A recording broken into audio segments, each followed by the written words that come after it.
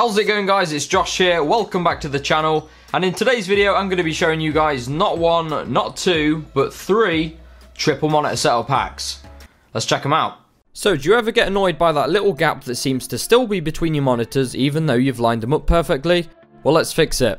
Take some black electrical tape, cut it to size and stick it behind the gap in the monitors.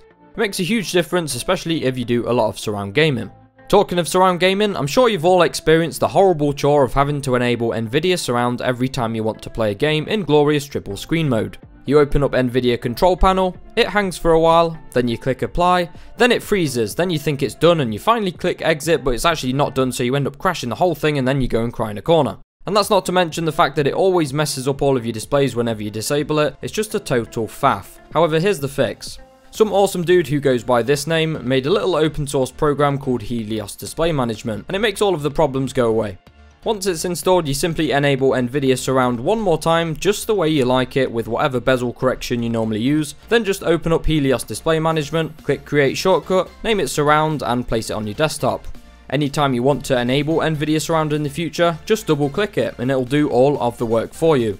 Now it does take 30 seconds, there's a nice little timer on the screen, but that's 30 seconds of your life you can spend on something else other than dealing with Nvidia's highly frustrating control panel. Want to be able to switch back to your normal monitor configuration without Nvidia screwing it up? You can set up a shortcut for that too. Life has never been so painless. The link to this little program will be in the description.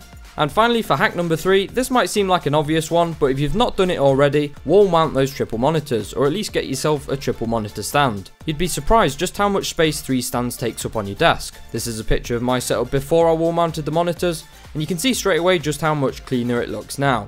Like I said, if wall mounting isn't an option, grab yourself a triple monitor stand. I'll put a link to a few in the description down below. So I hope those tips help some of you guys out. If you did like today's video, guys, it'd be awesome if you could drop us a like rating. I'd really appreciate it. Uh, it really helps the channel out and helps to give me some feedback on these videos as well.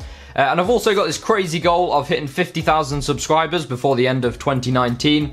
So if you want to help us out with that, you know what to do. Hit that subscribe button. Uh, with that being said, guys, I hope you all have a fantastic week. Thanks for watching today, and I'll catch you all in the next one.